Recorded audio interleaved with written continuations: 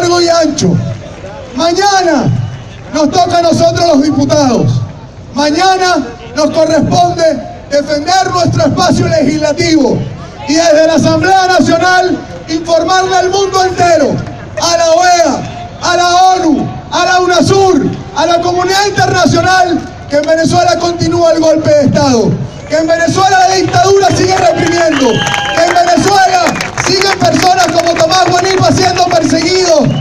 Leopoldo López sigue aislado en Ramo Verde.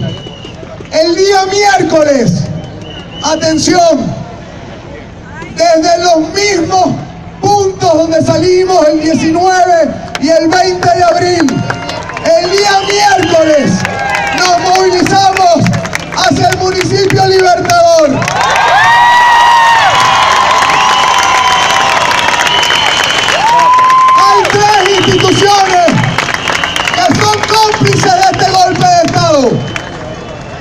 El defensor del pueblo,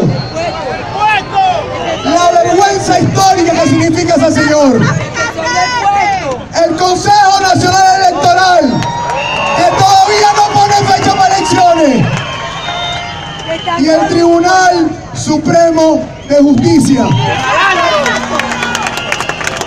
A una de esas instituciones vamos a dirigir nuestra movilización. ¿Por qué no se anuncia hoy el destino final? Porque no le podemos dar 72 horas para que se preparen. Porque no le podemos dar el chance que ellos quieren para mover la lacrimógena, poner los infiltrados. El miércoles, ah, ese helicóptero, mira, da vuelta y da vuelta y lo que hace es ver gente. Intenta meter miedo y no lo logra. El día miércoles, luego de la movilización, luego de nuestra jornada pacífica y contundente, que no será solo en Caracas, sino que será en los 24 estados de nuestro país, anunciaremos